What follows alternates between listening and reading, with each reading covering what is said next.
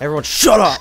It's a moment, a big And moment you see what in in Bouk Gaming Factorio history.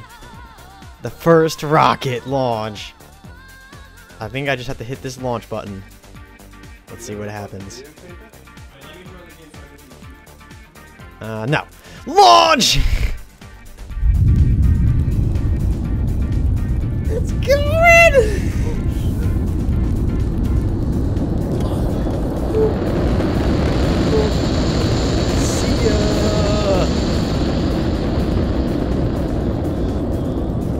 Godspeed! Godspeed, gentlemen! He wants me. that was pretty funny. Did it. Boom! It just launched into space.